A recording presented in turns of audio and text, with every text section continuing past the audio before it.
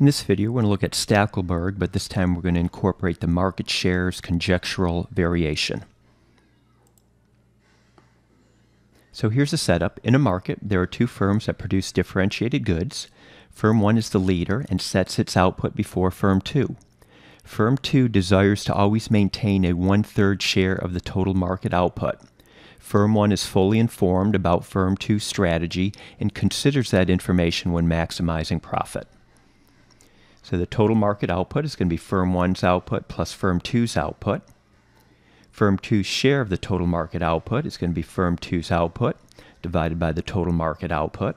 And firm 2 desires that this total market share equals one third. So one third share then for firm 2 can set this equation equal to one third. And now let's just solve this for Q subscript 2, firm 2's output. So solving for q subscript 2. I'm not showing all the steps here, but if you were to solve this equation for q subscript 2, you'd get that firm 2's output will equal 1 half firm 1's output. And this will always maintain a one-third market share for firm 2. So firm 1 is going to be the market leader, setting its output first. Here is the inverse demand for firm 1. And here is firm 1's total cost of production. And firm two's information is as follows.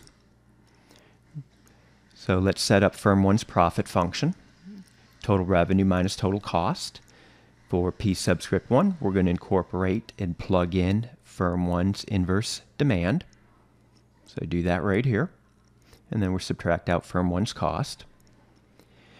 Again, the key thing here is that firm 1 knows that firm 2 will adjust its output to maintain its desired market share of one third.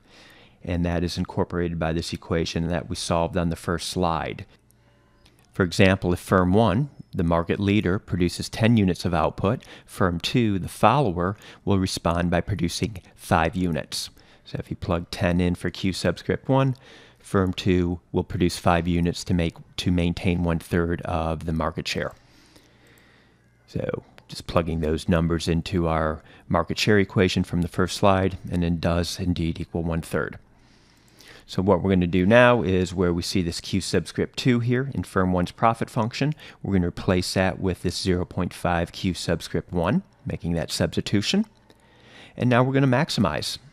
Got uh, one equation with one choice variable, so we can take the derivative of this profit function with respect to firm 1's output. Get back the following derivative result.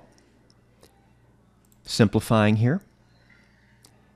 And just dividing through by 10, firm 1 will produce 10 units of output. And if firm 1 produces 10 units of output, firm 2 will respond by producing, plugging that into this equation over here, producing 5 units of output and in this case firm 2 does maintain one third share of the market. In terms of the prices, we're going to take the inverse demand for firm 1 and evaluate it at each firm's level of output.